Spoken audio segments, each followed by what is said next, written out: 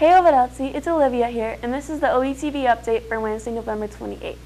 Language Arts team members, the poetry competition is this week, and we need two to three poems submitted. Please see Ms. Blank to turn in your typed poem by Monday. Attention anyone going on the Schindler's List field trip. Please turn in your permission slips and plus money to Ms. Blank, or let her know if you are not going. There is a waiting list of students who would like to attend, so please let her know as soon as possible. Attention freshmen, please turn your $10 class dues to Ms. White as soon as possible. A reminder to the Dale Carnegie graduating class to arrive at 5.30 that evening and graduation will start at 6. Attention all students, 2019 yearbooks are on sale for $60 through the end of November. And a reminder to all seniors that your senior quotes are due December 21st, and the senior pictures for your yearbook are due by January 31st. If you have any questions, please see Madison Zemla or Madison Jones.